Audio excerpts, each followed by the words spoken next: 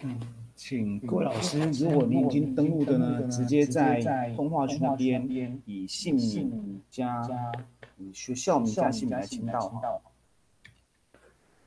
然后呢，今天的那个讲义很庞大，请各老师记得去下载它哈，直接整个打包下载。今天文胜老师准备非常丰盛的教材。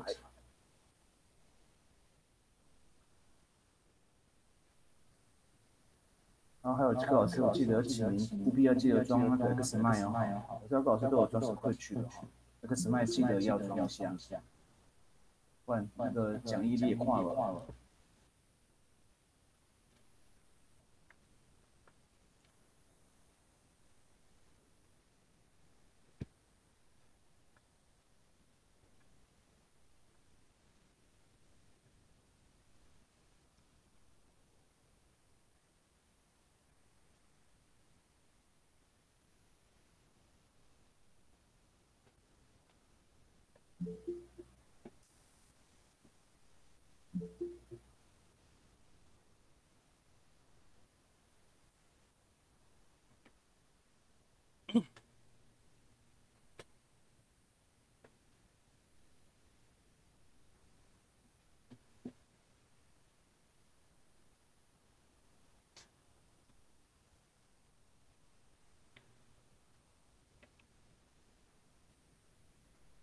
我们大约在三分钟，九点就准时开始。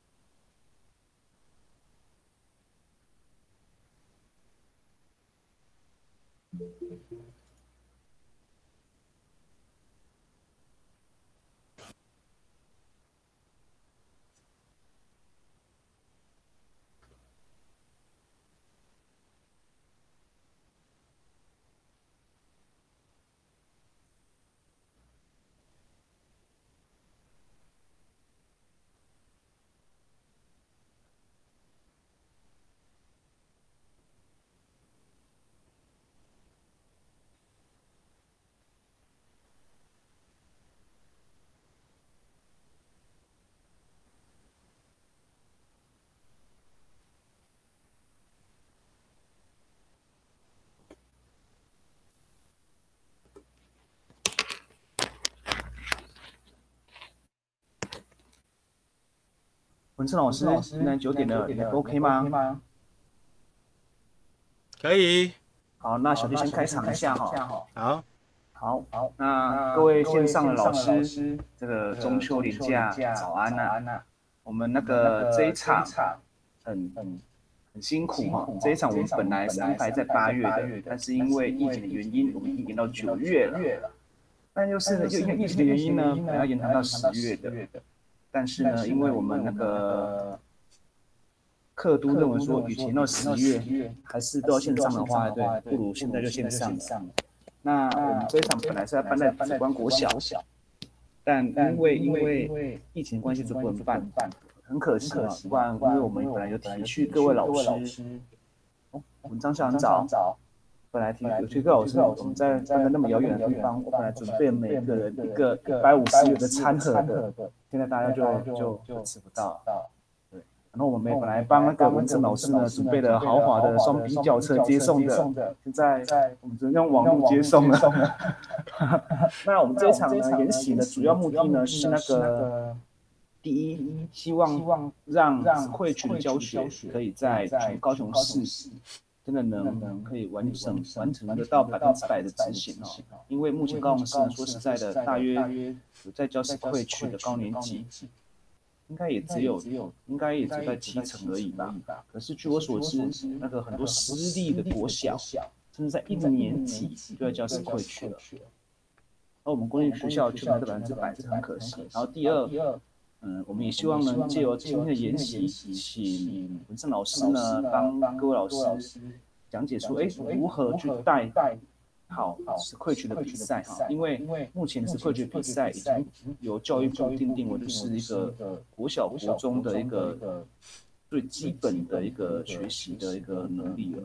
然后像各位老师呢，记得带给人了解说，哦，原来教育部需要想要的方式是什么？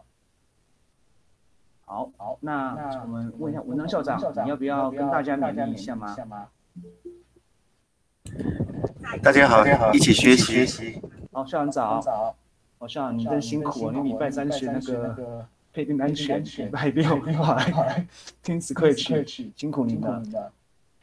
好，那我们现在那个，因为我们这样演习本来只打算招募二十五位学员而已哦，可是今天大爆满哦，今天到最后会应该会到四十五位哦，增加快一倍，那人数已经到差不多了。那我们现在就把，就请各位老师记得先把那个邱文胜老师的那个荧幕呢，把它钉选起来哈，把它钉选起来，因为今天的讲者不是我。好，那我们现在把时间交给我们讲师花莲的邱文胜老师。好，各位老师，大家早安哈。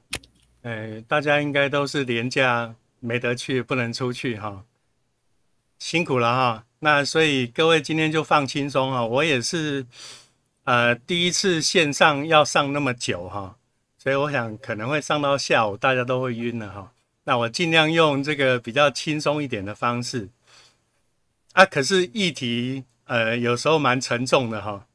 好，那我就把画面分享一下。呃，在分享之前，各位呃如果有准备双荧幕的话，会比较好操作哈。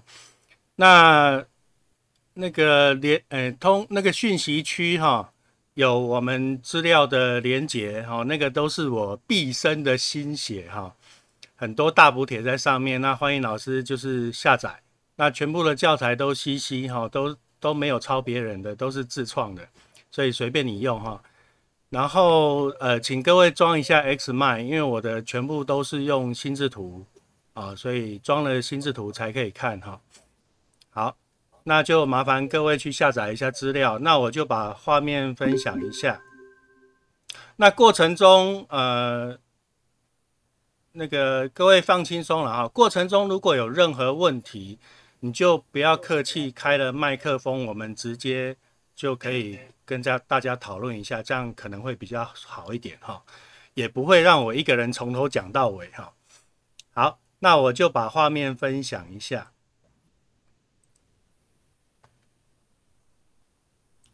啊，然后跟各位老师、校长报，校长跟校长报告一下，我们这一场演习整场都有录影哈，因为文胜老师呢打算把我们这场录影呢放到他的 YouTube 上面去。好，这样有看到我的桌面哈？有有看到看到。好，那呃，我先讲一下我给各位的资料哈。我给各位的资料里面，呃，有四个资料夹。那第一个资料夹，这个是我们今天可能会操作到的很简单的范例。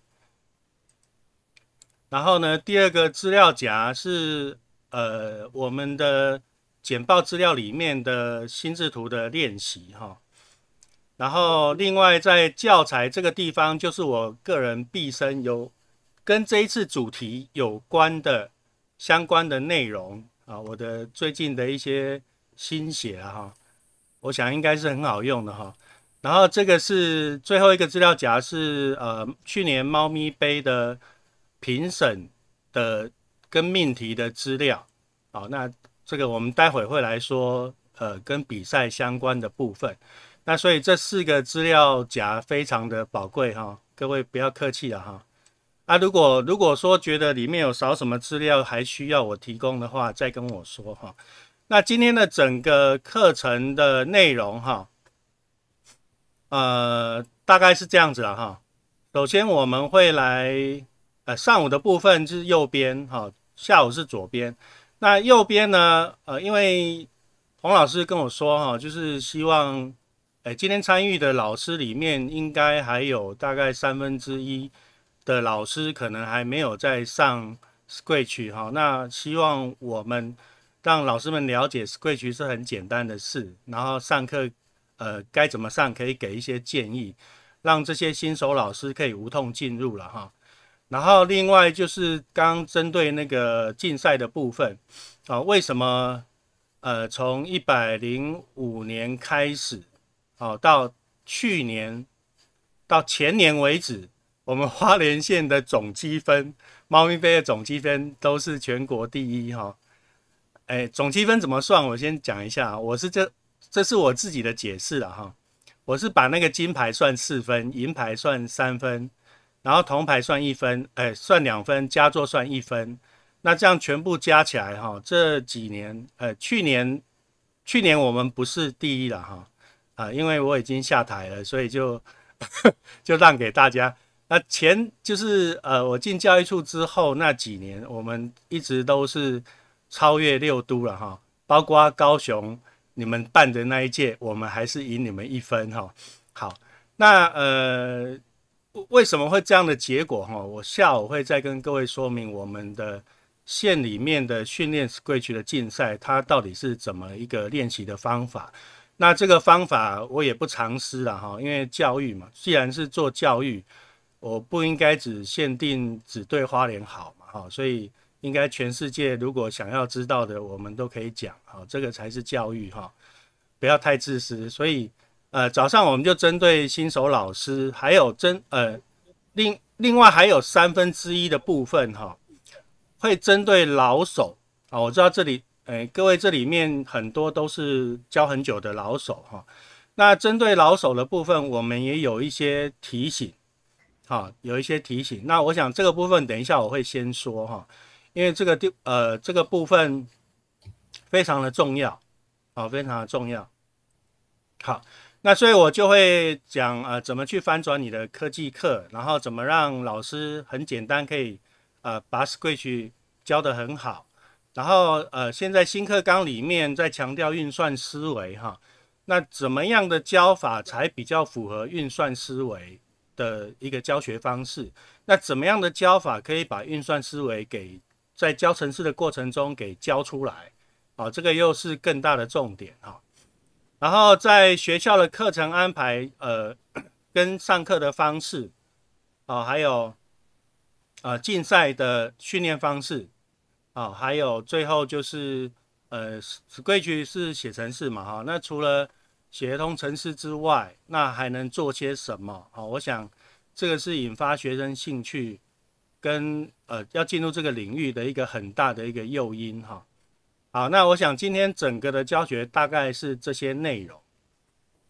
好，那呃在上课之前呢，我想刚刚那个呃校长跟呃洪老师这边有提到哈，就是呃有关县里面百分之百实施的这一件事哈，其实这个真的是要长官的配合跟呃那个主办单位很。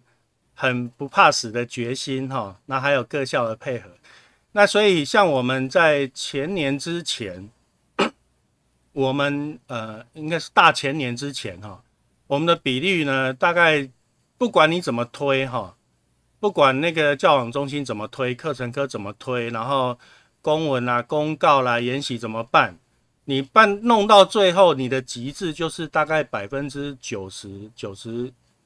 我我们现在里面的结果是到百分之九十三左右，那你总是会剩下百分之七左右。那个百分之七呃百分之七的学校是什么情况？就是第一个，他呃学校没有可以教 Scratch 的老师，然后有可能是代课老师。你今年给他训练完之后，明年呢，诶，他又调走，所以一直这样子青黄不接哈。所以呃像这种比较后面。呃，就是没有办法进入的学校，这个通常就要有一点技巧。那有一点技巧，我们县里面的其实有，除了大量开研习，这个是主动性鼓励参加的之外，那我们其实还要用了两个方法哈。第一个就是 我们的处长哈很配合，我这里面应该没有处长了哈，但是应该有辅导团的校长可以去建议哈。就是我们会跟处长讲好，因为既然是县长的政策嘛，哈，处长一定会配合了哈，所以我们就跟处长讲好，就是要帮我们办黑脸。那所以，我我在呃主办业务的时候，我们在任何公开场合的会议，包括呃县长主持的校长会议，我们都强烈的表达百分之百的决心。那所以会后之后就会呃，我们就会做调查。那调查，我们其实这几年，呃，从到去年之前哈，每一年我们都有做那个实施比例的调查哈，然后到就是到前年百分之九十三的时候，呃，就已经在推不下去了。那那时候呢，就是跟处长讲好用这样的一个方式，那所以呢，我们在会后知道剩下还有九所的学校真的没有办法做。那这时候，我们第一个，我们结合科丁的资源，哈。那各位高雄很幸运，高雄是唯一有议员赞助科丁，好，可以让。所以，如果你学校还没有上 Scratch 课的，其实你们可以，嗯，跟科丁联盟去申请，哦，他们会有派老师进到学校，不用钱，可以帮你上课上一个礼拜，呃，一个学期。好，上一个学期，那老师就可以边观摩边学习哈，这是第一个资源哈。那再来第二个就是，我们会跟校长强烈表达百分之百的的长官的意愿。那所以在调查之后，我们知道有九所没有办法实施，那这九所呢，处长就会约谈了哈。那约谈的时候，本来我是想说，哎，处长会扮黑脸哈，然后。呃，就是当场会在那个会议里面，这九所学校的校长会强烈的要求他一定要执行怎么样的，然后结果呃，其实处长是扮白脸的哈，啊身段也很软，然后就跟校长说，呃呃，校长你们执行呃，就是中高年级教 Scratch 啊有困难吗？好，然后如果有需要什么困，呃需要什么协助？教网中心可以全力支援，这样好，所以他是这样一个一个问哦，啊，就九个人的会议里面，包括我们在场，他一个校长一个校长问，那这样子下去之后，校长就会真的把学校的困难老实的交代出来。那交代出来之后，当然处长就会交办我们，甚我们甚至派员下去协助整个学期这样，然后希望就是一边教课一边。辅导那个老师，让他可以上手，但这个事情是要常年的，呃，常年的协助，因为这百分之七的学校，他真的就是下个学期，哎，下个学年老师又调走，啊，所以你必须要有这样的一个维持，他才能够常年维持百分之百。然后其实还有我在网络上用的一个剑招，哈，各位知道我的，呃，连友众多了，哈。那我很多的公式或者是研习，我也都透过脸书去放送。那所以，我就会在，我不怕死哈，哎，我就会在我的脸书，然后包括花莲的那花莲县的花莲县民的社团，我就会去讲这样的一件事，就说呃科技教育有多么的重要，然后现在。呃，世界都在推城市、推创客，那很多学校我们都已经把设备都补助下去了。那如果你你是一位家长，如果你的小孩在学校没有受到这样的教育，好，那你是很吃亏的。啊，我就把这样的一个一个事情，在这种花莲人的社团把它丢出去。呃，其实我心里面已经有底子了哈，马上就会接到电话这样。那果不其然，早上抛，中午电话就来了。好，那很多校长就会说：“哎，你这样子抛上去，我我们是要怎么做人？”很多家长跑来打电话来质疑我们：“哎，为什么不推城市？为什么不推创客？”好，然后。就要求我造成他们很大的压力哈，就要求我把那个文给撤掉这样。那我当然也知道这个状况了，但是我还是故意把它放到半夜十二点多我才把它撤掉。哦，就是因为在学校里面，说真的，我们我们是主要的业务单位哈，你要去推这事情百分之百去执行，它必须要有一些策略。那策这个这个。业务的重点就是你在学校，如果你是校长，就算你有心要推，啊，也许你的老师可能不配合，那或者是老师真的没有空，啊，或者是有其他种种的原因，但是呢，如果你是属于那种没有意愿的老师的学校，那通常我们就会呃找，因为老师其实也不怕你校长，啊，现在的老师权力很大哈，不怕校长。但是老师怕什么？老师怕家长啊，所以我们就会从家长会去下手啊。所以只要只要家长有这个认知，那就会希望学校要有这样的课程。那只要家长会有提出要求，那我想，呃，校长或者是学校再提出这样的要求，那老师就会想要去学。不然的话，老师就会说啊，我们成绩比较重要，所以我们上课就就。就是国因素比较重要，啊，所以他其实是要有一些策略跟跟一些方法，然后还有像我们这种不怕死的承办人这样，啊，果然去年就下台了，啊，开玩笑的哈，好，那呃这是题外话了哈，那呃趁着早上各位放假比较轻松哈，我们早上先来震撼教育一下哈，哎，我给各位的心智图里面哈，呃。哎，这个算是比较完整的哈。好，那这个部分哈，我想我们早上先来给各位醒醒脑哈。我直接用那个上次我在联发科的这个这个简报来跟各位做说明哈。好，那有些老师听了，呃，请请你要听到最后面哈，你不要听到前面很生气就关掉就离开哈，听到最后面才会翻转哈。好。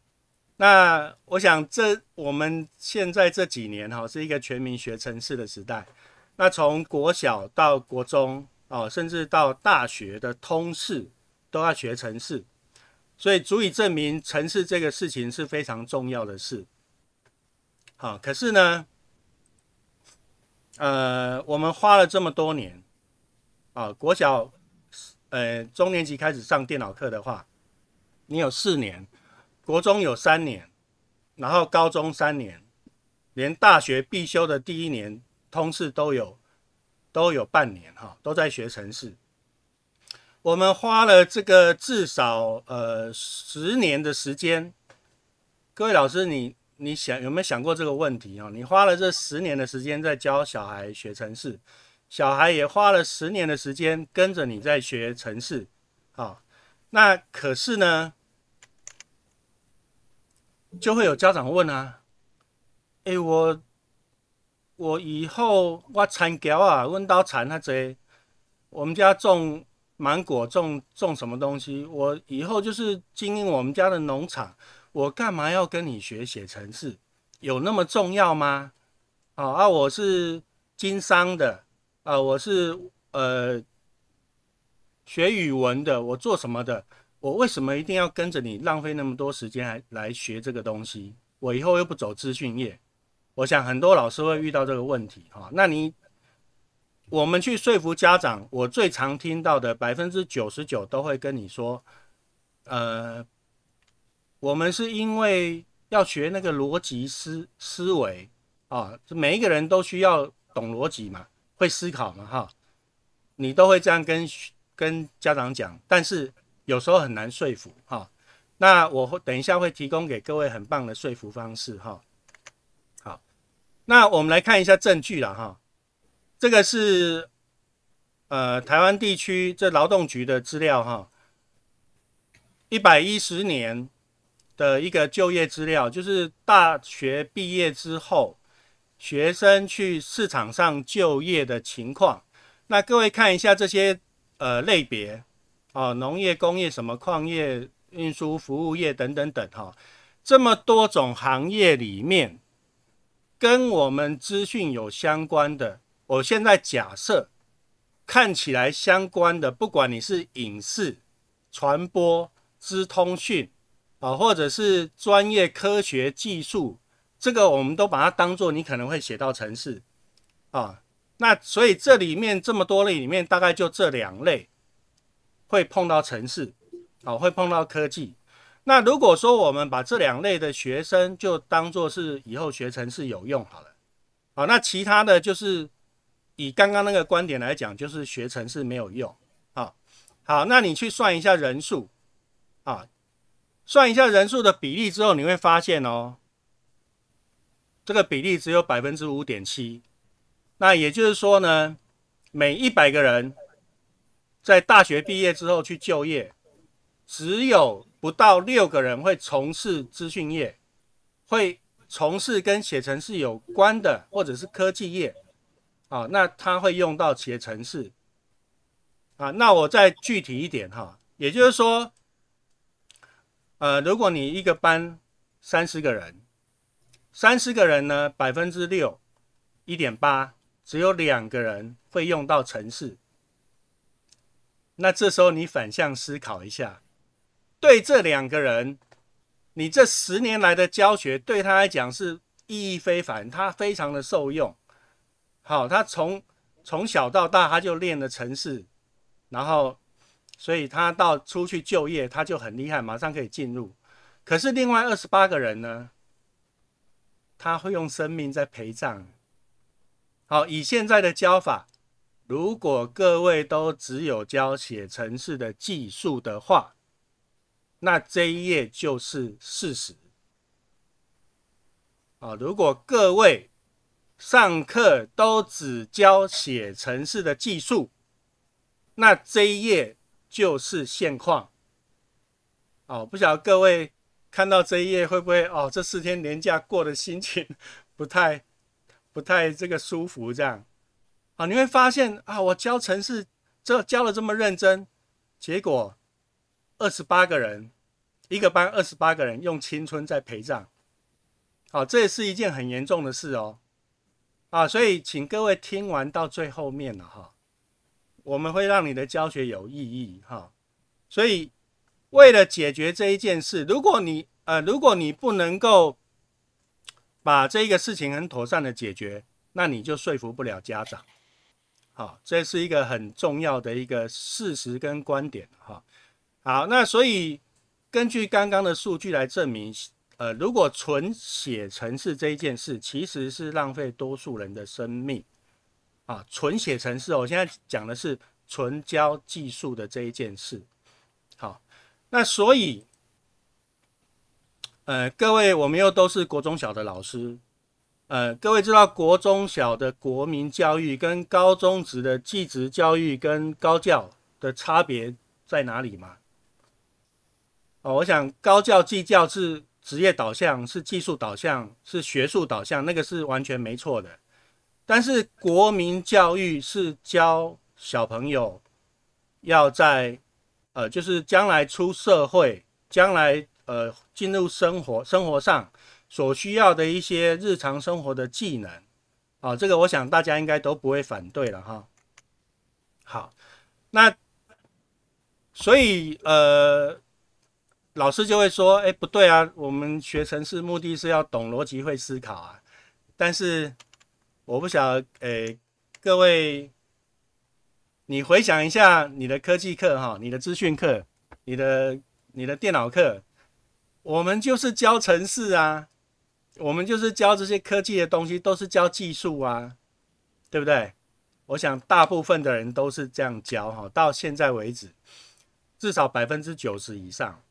好，那如果你真的就是上课只有教技术，那只有教技术的结果就会回到我们刚刚那一页投影片的结果。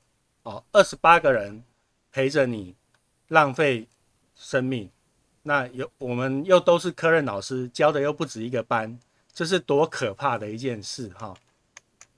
好，那所以其实，在我们新课纲里面，呃，它的最终哈科技领域的最终的核心，他希望我们把学生教会运算思维跟设计思考，对不对？可是你要想一件事哈，呃，这个事情我们在学校其实蛮常遇到的，很多老师他会在上课的时候讲 A 的内容，然后考试的时候呢，他给你考 B 的内容，然后把学生考倒了，他觉得很很很荣耀，很开心，哈，我题目出的太好了，学生都不会，好，有这种老师哦。而且还名还自鸣得意哈，那可是你要想这一件事，如果你上课教的是 A，那你考试考的是 B，好，你你觉得你教学生 A，然后希望学生去懂 B，我觉得这个是几率是非常非常的小，除非各位都是那个功夫那个影片里面的天生的练武奇才，对不对？好，这不太可能嘛，那所以我们。希望各位就是，如果你要让学生懂 A，那你就要教 A；你希望学生脑袋会转弯，那你就要教他要怎么转弯。所以我们在上课的时候，其实你要教学生写程式，你的目的啊，如果你看过课纲，你应该会知道，我们教写程式、教创客的目的，其实是让他懂运算思维。懂设计思考，然后会用在生活上面，会会用在未来解决问题上面。哦，素养化嘛，哈，学了要会用。可是不晓得各位上课的时候，你教学生写完程式之后啊，你有没有教他怎么把这个方法用在生活上？好，那这样的一个运算思维的方法，不一定要写程式啊。那方法要怎么在生活上去用？怎么去解决问题？我想这个部分的转化，百分之九十的以上的老师都没有教，哦都没有教哈。那所以我们应该其实是要，好，其实应该是要教这些东西，啊，那我们今天的课里面也会跟各位讲这些东西在上课里面怎么操作，他可以获得在。学你的写程式的过程中，可以获得这些能力，啊，这是今天最重要的重点，啊，今天最重要的重点。好，那所以呢，呃，其实，呃，长官有时候或者是说课纲那个解释课纲，甚至是呃上级或者是你的校长、你的长官或者家长不懂教育的时候。他们希望你去推写程式，然后他们不了解那个意义的时候，不了解教育的时候，其实孩子们需要的是各位老师，你要好好的引导哈。好，好，那接下来就是呃，我们科技课怎么样才能学到核心哈？那这个部分我们就待会再来做说明哈。好，我们现在先回到那个呃。回到刚刚心智图的简报哈，好，所以呢，哦，刚刚半个小时的这个简单的跟各位提醒了一下这一件，呃，很值得各位思考的事情哈。那每个人都学城市这个政策到底是爽到谁，到底是毁了谁哈？各位要好好的思考一下。那我们国教跟技教。它的面向是不一样的，好，它的面向是完全不一样的。希望各位在做资讯教育、做科技教育的时候，你脑袋里面要有这个思考。我今天做的是国教，国教的话是要普及，然后是每个学生都要会的生活的能力、出社会的能力，而不是那种很专业某个领域才要会的那种技术能力啊。所以你的那个教材、你的教学的方法、你的教学的内容就要往这个方向去走啊。生活上可以套用的方法才是重点。好，所以早早上跟各位沟通了这一件事了哈。好，那接下来为什么我们的课纲哈？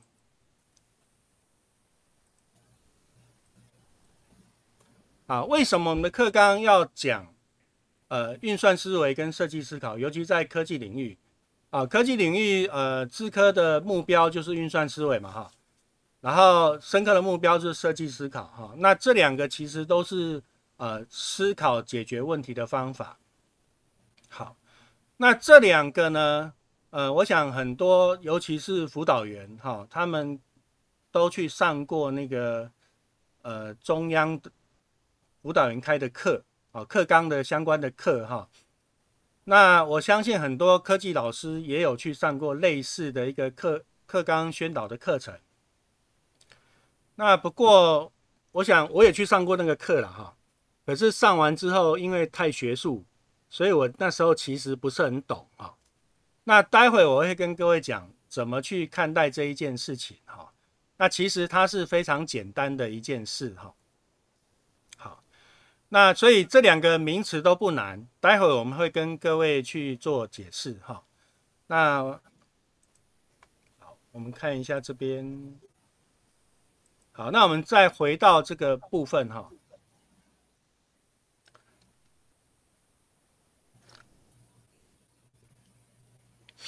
好，那各位呃，经过课纲的洗礼之后，不过我相信大概有应该有一半的人还没有去看过课纲哈。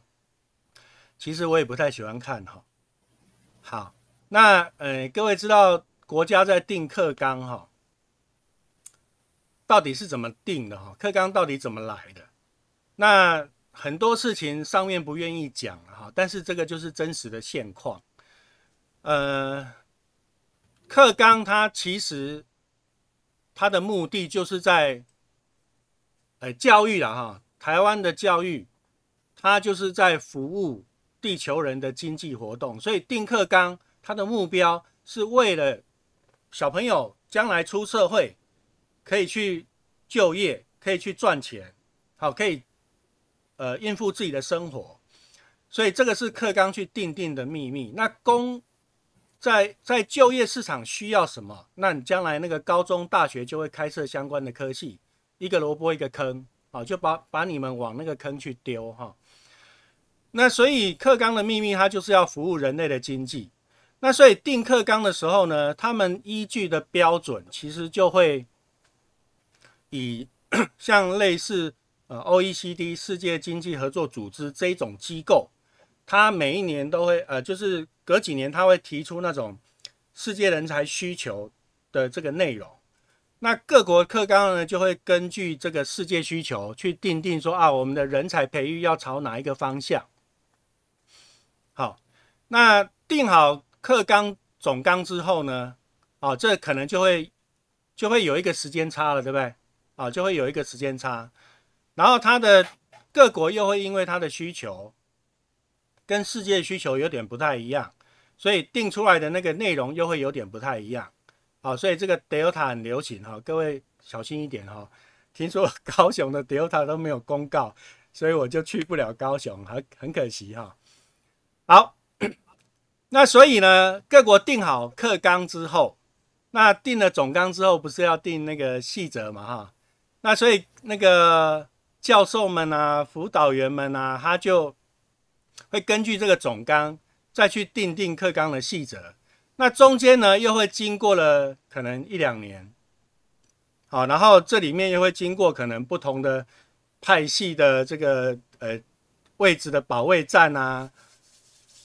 等等等哈，所以那个总纲定出来，跟实际的课纲细则定出来又会有一些不同，哦，又会有一些不同。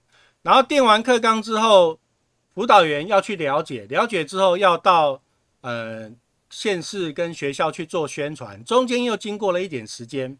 那辅导辅导员的理解跟修订课纲的人的理的理解又不太一样，又有一些认知差异。好，就这样一直 delta delta delta，每一个阶段都有一些时间差跟内容的误差。那等到各位去了解的时候，等我们现在去了解课纲的时候，事实上那个世界需求已然发生改变，好，已经改变了哦。所以我们现在在学的这个课纲，其实是上一个梯次的世界需求了，好，上一个梯次的国家需求了。各位不晓得有没有体认过这一点？那所以现在比较聪明的课纲，它会保留三分之一，叫做新兴科技。哦，他还好，还蛮聪明，保留那个三分之一，但是他会被人的思想限缩了哈。所以各位不要太执迷于课纲哦。我我会这样跟各位说，呃，我不是要批评课纲不好怎么样。嗯，请各位要了解我的意思。我的意思是说，课纲他给了一个基准，那这个基准呢，是让那些无所适从、新进的老师有一个目标方向。但是如果你经常关注世界潮流，经常了解那个趋势，那你的想法也许有可能比课纲还要再前进一些。好，那。我想课纲不会阻止人家前进，啊，所以如果你有更好的想法，你超越课纲，我想课纲里面都是可以解释得通的，啊，可以解释得通的。那所以，呃，当我们了解课纲之后，好，你就不懂的人，至少我朝着课纲；那懂的人呢，你觉得这个想法可能比课纲更好，你可以更精进。我想课纲都可以接受，哈。好，那所以，呃。作为一个做教育的老师，哈，哎，我对教育比较比较注重了，哈。好，那你就会想，哎，如果是课纲是这样的一个实际的状况，哈，那经过了好几年之后，我们才去了解这个上一期定的课纲，然后才去要实施，那这样的方式有没有办法做改变？好，有没有就是你的理想跟现实事实上有极大的落差？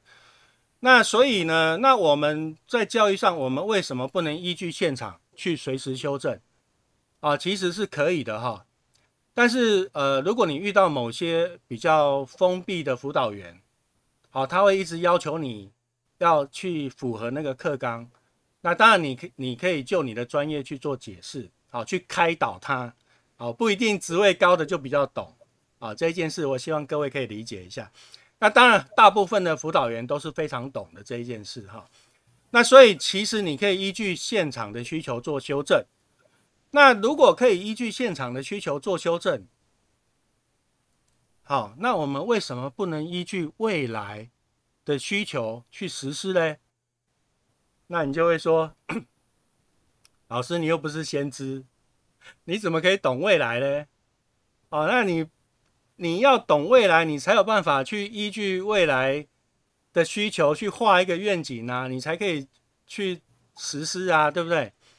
那可是实施呃，知道未来这一件事，其实还是有方法的啊。所以我觉得各位老师可以适度的修正一下哈，就是提前部署了哈，超车了哈啊。所以要怎么样可以知道未来需求？其实未来需求也没有那么难了哈。第一个就是，如果先进地区我们这边没有实施过的，别人已经在做的，那这个东西对你来讲不就是未来吗？啊，如果没有人比你更先进，那你就是最最先进的想法。好，那比如说，好，今天如果我要去缅甸，我比如说，其实赚钱真的不难，各位老师，如果你想赚钱，我们台湾的教育是很进步的。你就把台湾的这个呃 Scratch 的教育、创客的教育直接搬到，比如说缅甸、泰国，啊，比比较搬到那种比较落后的地区，你去去抓他们金字塔顶端的客户，赚钱其实是非常非常容易的，就看你有没有那个胆子，放不放得下那个去国外的这种。好，所以你把先进地区的东西拿过来，它其实就是未来。哈，这是第一个想法。第二个想法，你的想象力跟创造力，我们今天应该会稍微提到了哈。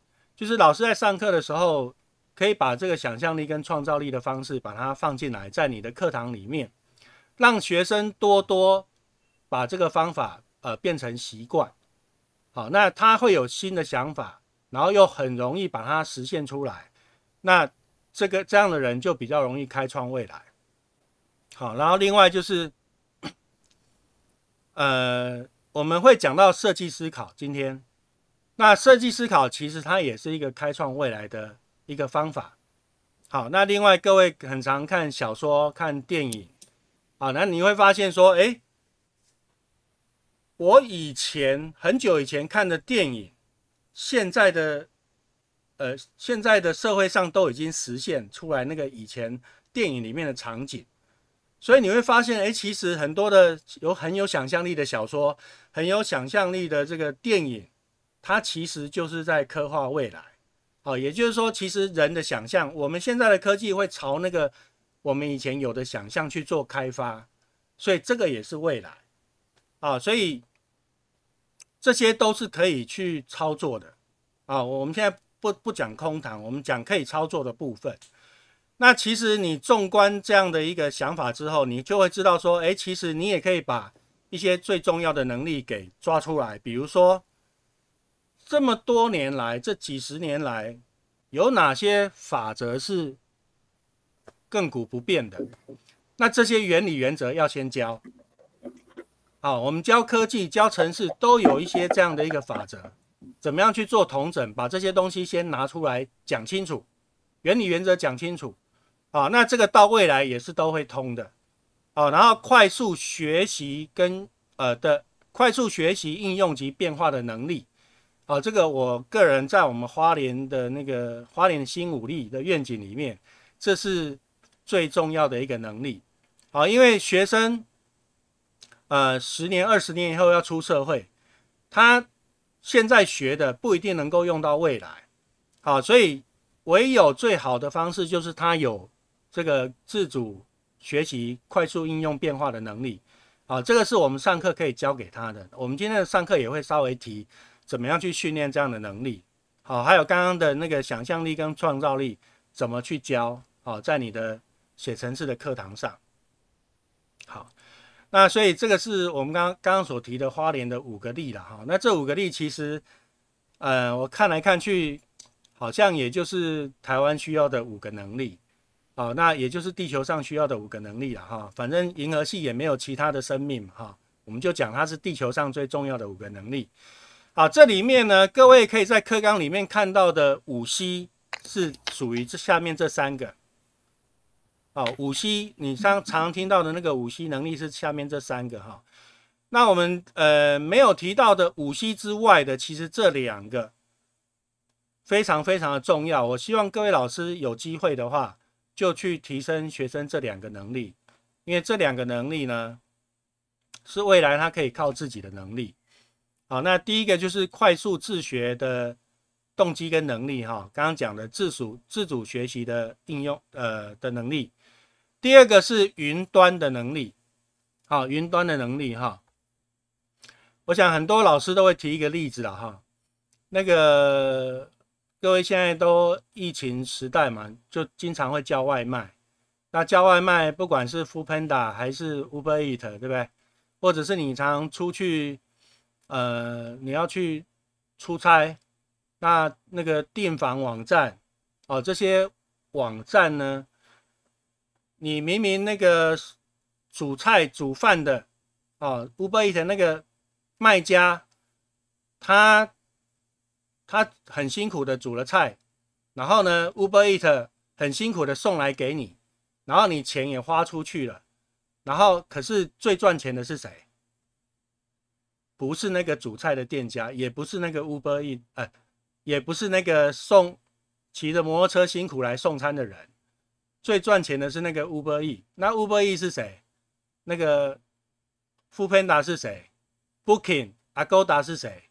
就是那些会写程式、写云端平台的这些人。啊，所以你可以发现，写程式是蛮重要的一个能力哈。那另外就是云端的能力，我们最近开学很多老师呃需要这个资讯设备，很多家长需要资讯设备。那会淘宝的老师会发现，哎，淘宝上面的笔电比台湾的笔电少了两到三成的价格。好，所以会淘宝的我就去淘宝买，我我就省很多。然后懂英文的老师呢，去亚马逊又更省。好，所以你会发现这个云端，如果你会云端，你会云端工作的能力，包括远距时代。你可以不用到学校，你可以办公室，你可以在家里可以远距上课，啊，所以这些就是非常重要的能力，哈，在前面这两个尤其重要了，哈。好，那所以我希望各位有机会的话，啊，就是呃，就是可以去呃训练这样的一个能力，哈。好，那在后面呃。我想我们先来做一下简单的体验啊，我怕各位睡着哈。好，各位应该都有装了 Scratch 哈。那我们在那个，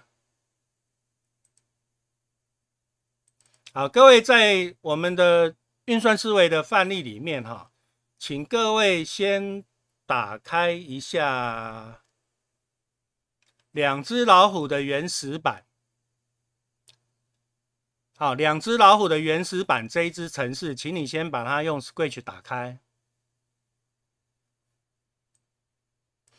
好，因为今天的课程，呃，有三分之一要服务那个新手老师哈，所以老手老师，呃，你也不需要忍耐，你听我上课的 Mega。好，我们今天讲 Mega 比较多，因为技术训练的部分，我想高雄有非常多，有八成的老师都有在上嘛，所以。那个在地的老师就可以帮你们开研习做训练。那所以，我今天的部分其实都是讲美感的部分，好，就是上课的一些美感。好，各位老师，呃，你把这是呃我事先写好的歌了哈，因为我单因为研习只有六个小时，那我们要讨论的东西其实太多了。那我也所以我不可能叫你就直接呃一首歌慢慢的。慢慢的这样子去把它踢上去，所以我先做好一个范例给你，啊，所以麻烦各位把它打开，然后你可以试着播放一下哈。这个是两只老虎，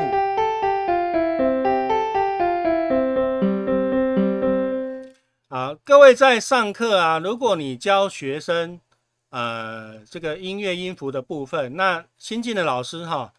呃，那个 Scratch 三，它把这个音乐的积木收入到扩充积木，所以如果你要找到这个积木，你要从扩充这边去找那个音乐，把它放进来，就会有这些积木哈，就可以使用。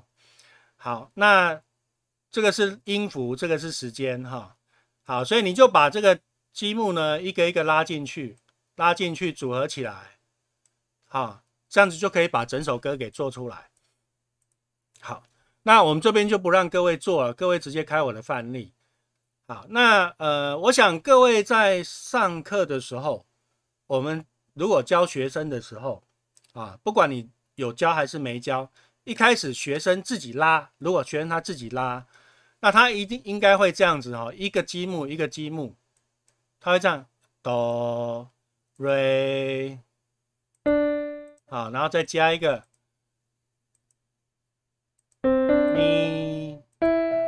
咪哆，它会这样一个一个一直拉上去，对不对？好，这个是传统古老的技术的教学方式。那各位，我想我不知我不知道你怎么教了哈。那如果你是用这种方式，最后写成一首歌，那你会发现一件事：如果万一我在播放的时候，哎，哪一首哪一个地方音不对了，好，那我要去找那个音去做调整。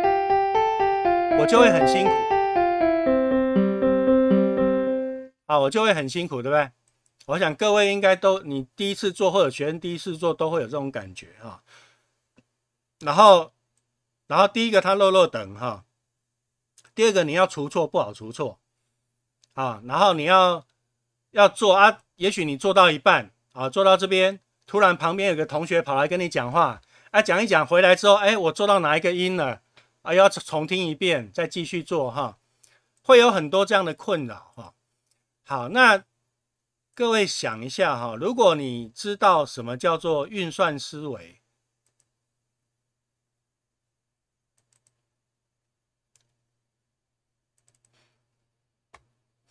好，那运算思维你应该有听过这五个东西：系统拆解、演算法思维、抽象化、模式识别跟资料表示。呃，如果第一次听的老师不用担心，等一下我会用白话文跟各位做解释哈。好，那你先有一个概念，哎，这里面好像有一些方法可以帮帮助你去处理。好，好，那我想我们先休息十，呃，休息十分钟，各位下课休息一下哈，不然一直听我讲，各位会有点晕。那同时你也想想看看。你上课你都是怎么教这个东西？好，你可以想一下，利用这十分钟想一下。好，那我就先把画面还给大家。